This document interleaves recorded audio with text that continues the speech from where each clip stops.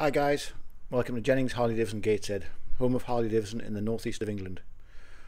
Here we have an Ultra Limited, finished in a famous Harley Davidson orange and black. What a traditional, traditional and wonderful colour scheme this is. It's even colour coded on the inside of the fairing. It's a two owner bike on a 64 plate and let's just check out the mileage. There we are, she's done 14,810. It has full service history, you can see it's complemented here with a 103 cubic inch engine, which gives you all the torque you'll ever need for your touring mileage. And of course, a six speed gearbox to make that touring relaxed. Now this is a Rushmore model. And what the Rushmore model means is it has the easy open saddlebags. And I'll just demonstrate that for you. It's just one hand.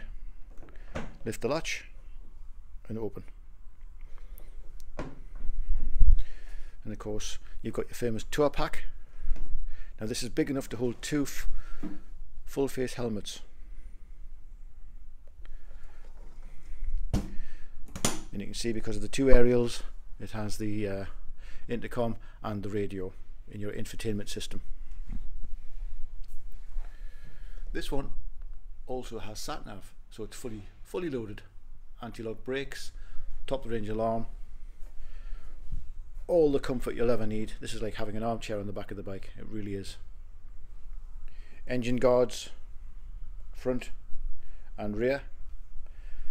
Twin discs, anti-lock brakes. You've got your LED lighting. And this little feature here, this is a vent.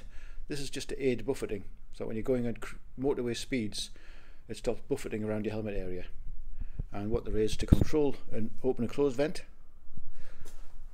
We'll just go around here and have a look. There's a little switch that opens and closes the vent for you. The bike is in fantastic condition as you can see.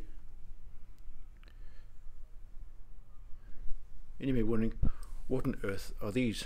This just stops the heat of the engine coming up uh, and baking your legs should you be abroad and you're doing continental riding in a very hot country. It's a dual cooled engine, which means it's cooled by uh, oil and water and air.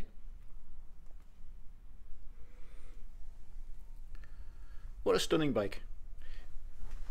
If you're interested in this machine, why not give Scott or Dave a ring? We'll do the best possible deal you can and get yourself a touring bike ready for the new season. Thanks for watching.